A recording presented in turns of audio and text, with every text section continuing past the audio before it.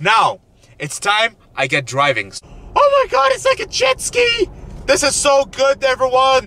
Alright. Such an amazing car to drive.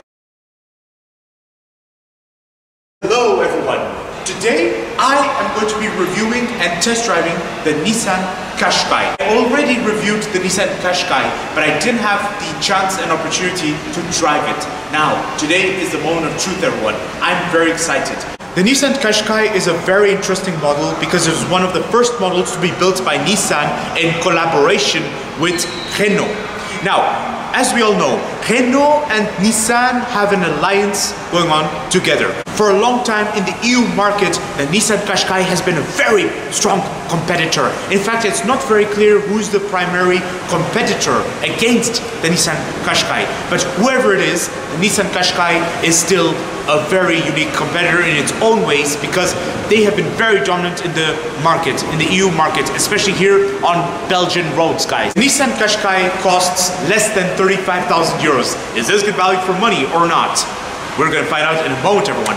Let's get done with the review and test drive right now. Uh, this is not the first time ever driving a Nissan Qashqai. I did drive a Nissan Qashqai before, but it was actually a last generation Nissan Qashqai, the second generation. The second generation Nissan Qashqai was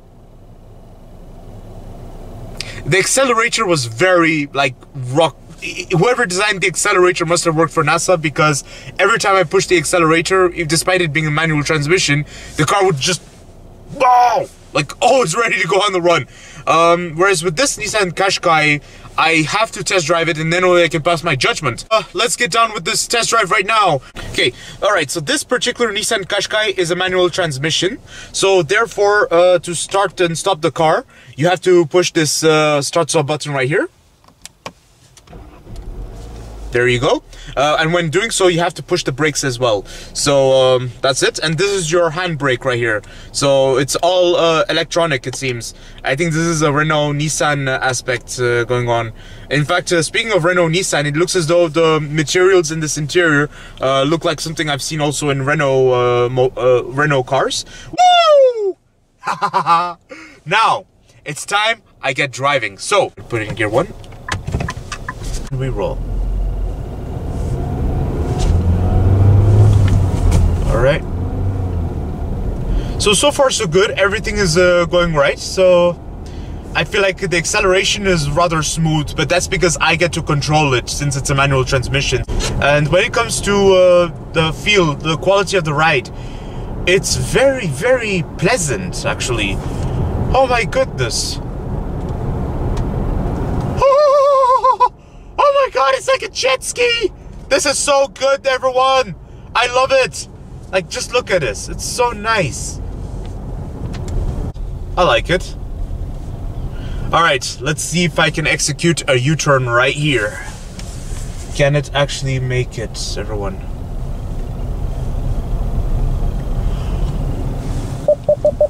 Ah! It's close! This close, guys! I almost made it!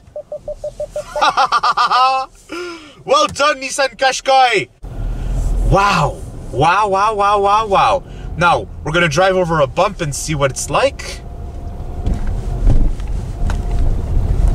Oh, not bad at all. The suspension setting of this Nissan Qashqai is more on the firm side. It has a very, like a more firm setting which explains why road performance is immaculate. It's so, road performance is very, very good. I'm absolutely stunned, everyone. I'm absolutely stunned.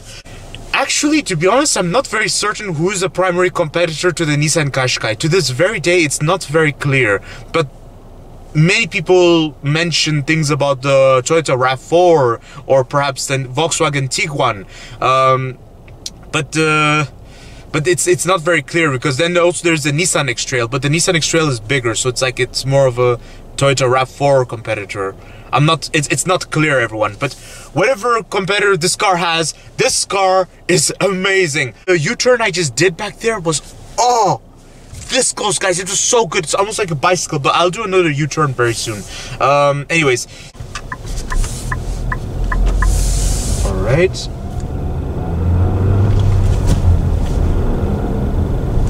Huh. Alright, that's interesting. So, I noticed it likes to go all the way there, but then whenever I have to change a gear that goes here, it, it stops right, right in the middle, as if it's in neutral. So that's that's very interesting observation I see. Now I'm going to test the acceleration of this Nissan Qashqai if I can actually do a proper acceleration because this is a manual transmission so uh, bear with me everyone one two three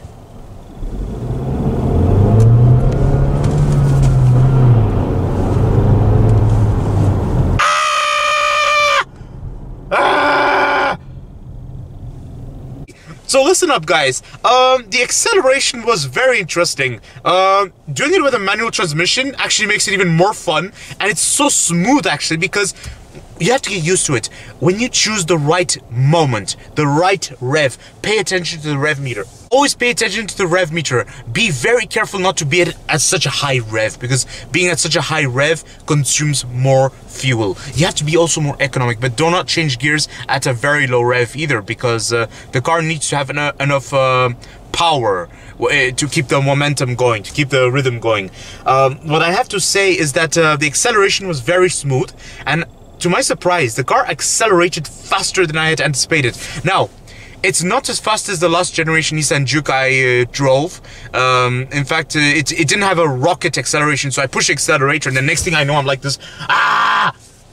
In this Nissan Qashqai, I actually had everything under control. So it's like, you know, I feel like the acceleration was just spot on, you know? Not too fast, but not sluggish either. Test the brakes of the Nissan Qashqai and let's see how it goes. So in a moment I will do a very stiff brake, like right now. Okay, all right, that was an emergency brake I just performed just to see what it's like. Um, it, it works good, it works good. Now let's just say I'm in traffic pace and uh, I want to do a brake, or let's say I brush the brake. Uh, a gentle brake.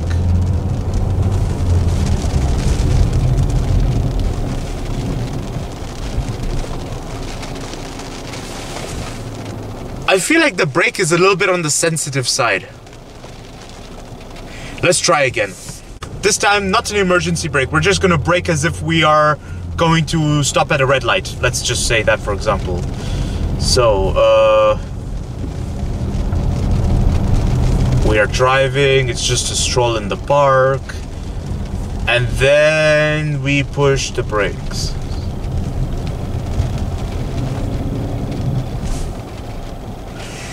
I've noticed each time I brush the brakes, there's always this inclination to do an emergency brake. Well, not an emergency brake, but this car is very much inclined to just, uh, you know... Okay, you know, the brakes on this Nissan Qashqai are a bit sensitive, so the best braking you can do is just by brushing the pedal gently. Do not push it too hard, because when you push too hard, you end up doing an emergency brake. Alright, so I'm just driving on the road, seeing how it's like. Hey, look everyone, I roll in a Nissan Qashqai, whoopee! they see me rolling. Look everyone, I'm driving a jet ski. the, the suspension setting is clear to tell that it's on the sport side. It's on the sport side because um, I have to say I, it's registering every single bump on the road. Like now in terms of comfort ride, well, I guess the seat is on the comfort side. I feel comfortable, but you know, in terms of uh, uh, shock absorbing, or in terms of uh, like you know, uh, driving over bumps and everything, you will hear every single bump you drive over. So that's maybe on the questionable side, but otherwise on the positive side, the car is sporty as it has to be. So I like it, guys. I really do. So there's something very like uh, I have to say this car feels very fun to drive and also it feels very city friendly. In terms of road noise, the road noise is good. Yeah, like uh, I hear the engine most of the time. But otherwise when it comes to hearing the public, hearing the other cars on the road, yeah, it's it's almost negligible. It's like you don't hear really much going on outside except the car engine itself. Now, in terms of the acoustics in this interior, I think the acoustics are super good because I'm talking whenever I talk, it feels as though I'm in a building. So I'm just going to do a little test. Hello? Hello? Good. good. The acoustics. Whenever you hear your voice sort of echoing uh, a lot, that means the acoustics is not very good. When the voice doesn't echo, eh, whenever the voice is like normal, as if you're in a building, that means the acoustics is good. Um, so in this regard, I'm impressed. Now I'm going to show you all why I was mentioning earlier that the parking would be very easy with this Nissan Qashqai. So I'm going to engage it in reverse. There you go. When you, whenever you engage the car in reverse, you get the 360 degree parking camera. And by the way, I have this feature on my Nissan Navara and it's super helpful. The steering wheel is also very nice. I really like how light it is. It's super light. You can actually, it, it's quite nice. I really like the way it is. And then also, um, it's uh, just the only questionable aspect I have about this steering wheel is that the horn in the middle is too small. You know, the steering wheel is always very good. I really like the base. It's so nice, so easy to hold, and this makes the car very easy to handle. Very good. But the horn is very small, so it's like, you know, when driving, whenever I want to push the horn, you have to push it with a lot of force, guys. All right, guys, so I'm just gonna test the horn again. Wait, let me just open the window once and listen carefully.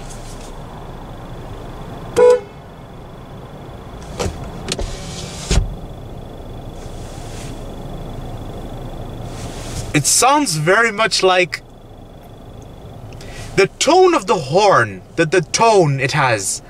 It sounds very much like something French. It doesn't sound very much like something Nissan would usually give because I remember the last generation Nissan Qashqai sounded exactly like my Nissan Navara. And, and because the Nissan Navara, the Nissan Qashqai, and most Japanese crossover SUVs and most Japanese cars, they have a really light tone horn. It's like, um, uh, you know, they have the, they have a very light tone horn, but uh, with this particular Nissan Qashqai, the horn sounds very Renault-ish. All right, so over here is the infotainment system, everyone. It's quite nice. It's very practical. So you can go on maps. You can go on the menu. If you press the menu button, uh, this is what happens. It takes you to the main page. Um, so it's quite nice. You can maneuver around. And also you can choose daytime mode or night mode. See, this is night mode day mode. Night mode, day mode. So it's it's quite nice. You can play around with it, and um, you can go on navigation. You can go on uh, uh, Bluetooth and everything. Very nice. And I like the quality of the screen, and I like how it kind of reminds me of uh, Google Maps. It's so good, guys. I really like how bright everything is. But hey, for a Nissan Qashqai of less than 35,000 euros, I could never ask for anything better. I love this infotainment system, guys. This is a panoramic roof, guys. And if everybody wants some more privacy, you know, just the thing to do.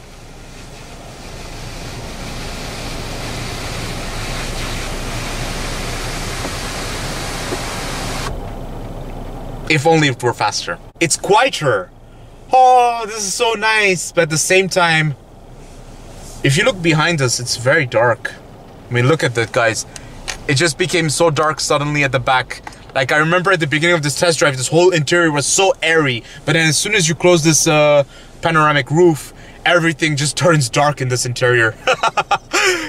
guys, it's okay. I asked for it, I guess. Let's take a look at this interior for once, guys. I mean, look at it. I really like how pleasant it was. Everything was at my reach. I um, I was very impressed, guys. I was very impressed. And you can adjust the seating. It's so easy. And uh, also, this is the adjustment for the steering wheel. It, it was very helpful. The steering wheel is super light, guys. I mean, look at this. But yeah, the design of the steering wheel looks like something from the 1960s uh, and 70s, guys. Because uh, I know some cars that had like, you know, like just this base at the center that would look exactly like this, like circular and everything.